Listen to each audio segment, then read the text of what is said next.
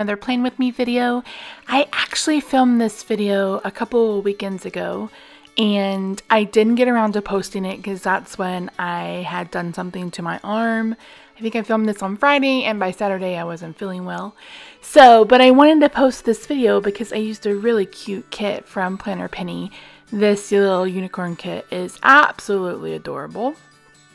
So I wanted to make sure that I got this video up for you guys. So I honestly don't remember what I placed, when I placed it. So I'm going to go ahead and turn on some music and let you guys watch. And I didn't take pictures at the end, so I'm sorry about that. but it's still a really cute spread. I really like how it turned out. And um, although I didn't really get to use much of it, I still really love it. And I'm contemplating putting um, date covers on top of it and using it in the future, but we'll see. You guys let me know what you think about that. So hopefully I will be back this weekend for another Plan With Me. So I'll talk to you then. I forgot you're also going to see a couple of sneak peeks um, that may or may not be coming soon. I will let you know.